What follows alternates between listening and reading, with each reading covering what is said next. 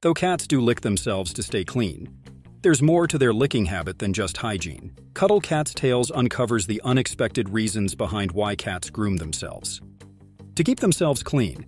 The main reason is very important. Cats are clean animals and spend a lot of time cleaning themselves, usually about 30% of their awake time. This helps them get rid of dirt and loose fur on their fur.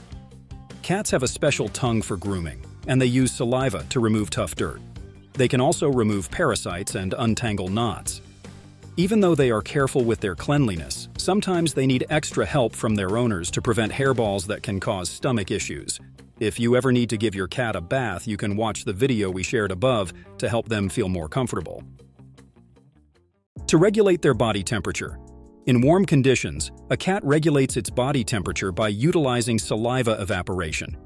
Licking serves the additional purpose of fluffing up the fur, facilitating better air circulation and direct contact with the skin. This grooming process plays a crucial role in the cat's thermoregulation, ensuring comfort. Furthermore, active grooming stimulates blood circulation, aiding in the even distribution of natural oils across the coat, thereby promoting skin health. Before we continue, let's test your knowledge. What sets cat tongues apart from those of other animals? A. Their tongues are entirely smooth. B. They are covered in numerous tiny spines. C. They possess a pointed shape akin to that of a knife. D. Their color shifts according to their mood.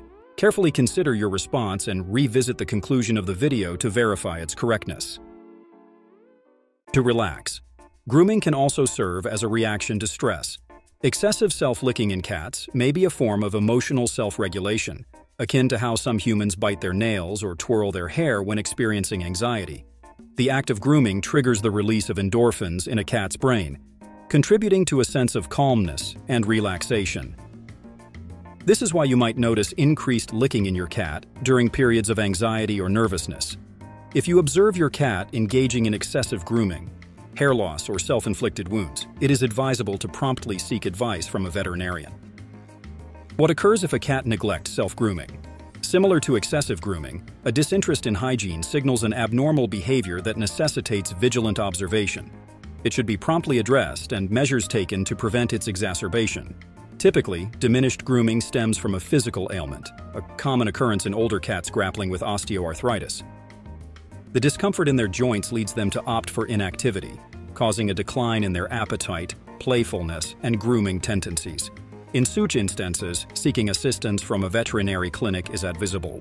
Revisiting the earlier inquiry, is your response prepared? The accurate response is B. Their tongue is adorned with minuscule spines called papillae. Should you wish to delve further into understanding cat behavior, ensure not to overlook the playlist provided here. If you have any amusing anecdotes about your cat indulging in self-grooming through licking, feel free to share them in the comments and we look forward to connecting with you in our next encounter.